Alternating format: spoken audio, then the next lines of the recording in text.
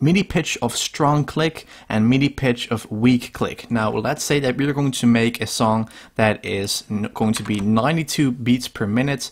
We, are going, we can also choose um, to like choose how many uh, beats per measure, like one, two, three, four, and then the beat starts.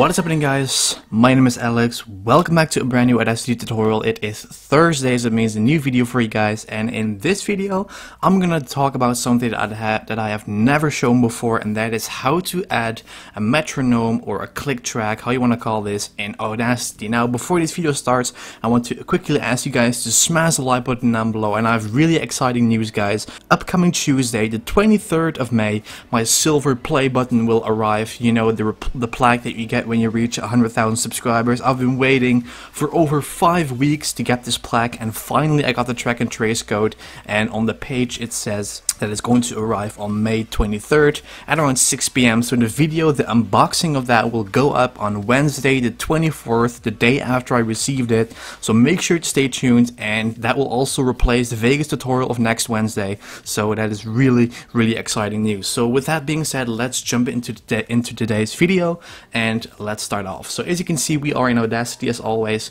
and it is really, really simple to add a metronome or a click track. So let's say that you want to uh, make a song or track guitar, bass, vocals, drums, anything. It is really, really important that you are staying on time. So what I'm going to do now is I'm going to go to generate. Mostly we're always going to effect, but right now we're going to go to generate and we're going to pick click track. Now as you can see this box is popping up and right here you can choose how fast it goes and how like the tempo, the beats per minute, the BPM, uh, the beats per measure, the numbers of measure, optical click track duration, minutes or seconds, in individual click duration, uh, start time offset, click sound, noise click resonance, MIDI pitch of strong click and MIDI pitch of weak click. Now let's say that we're going to make a song that is going to be 92 beats per minute.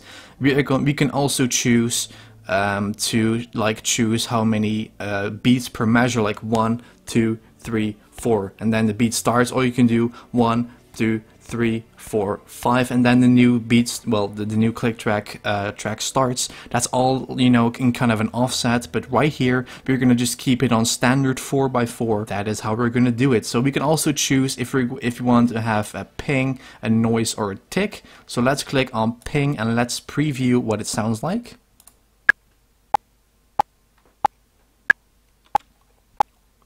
So that is our metronome. That sounds really great. But we can also pick just a regular noise.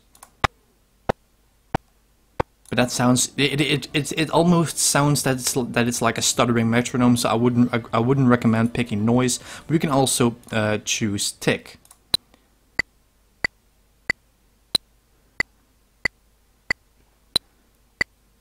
As you guys can hear. So what you can do is I'm just going to pick uh, the ping and we can also uh, make it uh, 4 beats per measure or we can put it 8 so that's what it sounds like like this.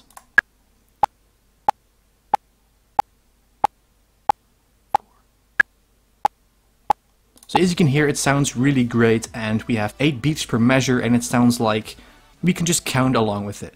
One, two, three, four, five, six, seven, eight, and then the new one starts. So this is how you add a metronome or a click track into Audacity. And once we click on OK, as you can see, we have all the ticks right here, and this is how it sounds.